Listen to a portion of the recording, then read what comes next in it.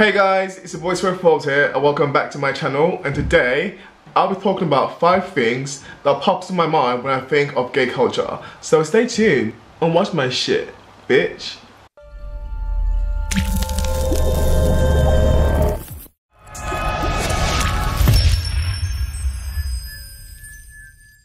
So, before we start this video guys, I'll give you guys the definition of culture. Culture is the idea, customs, and social behavior of a particular group of people. Got that? Okay, let's start this video. Okay, first thing on my list would be acceptance, because I feel as if we all experience moments in our lives where we felt unwelcome and unaccepted. So amongst ourselves, we feel free and liberated and we can do whatever we want to do in this community as one. So I would definitely say my number one would be acceptance.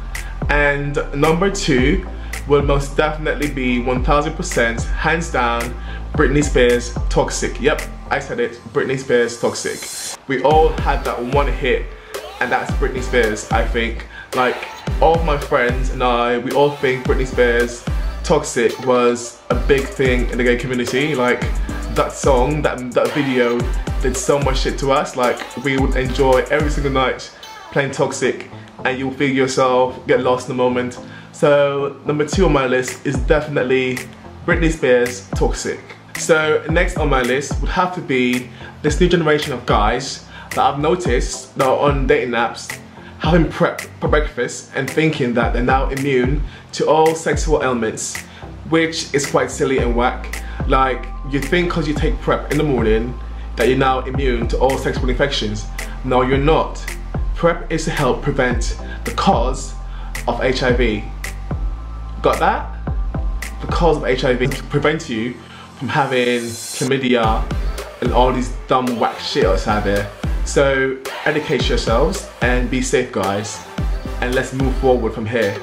Next on my list is something that I think everyone can relate to is that not being able to scroll through their phones in public. Like I can't go on Instagram and not see a naked man like prancing around or working out or something and it's quite embarrassing on the bus or on the train like sitting there and someone behind you is sneaking over looking at your phone and you're like oh that guy's defo gay like I don't really mind people know that I'm gay but it's a bit cringy seeing like soft porn in public I think so that's my next thing on my list. So this is the end of my video. So thank you guys for watching. And I'll appreciate if you guys hit subscribe and like my video.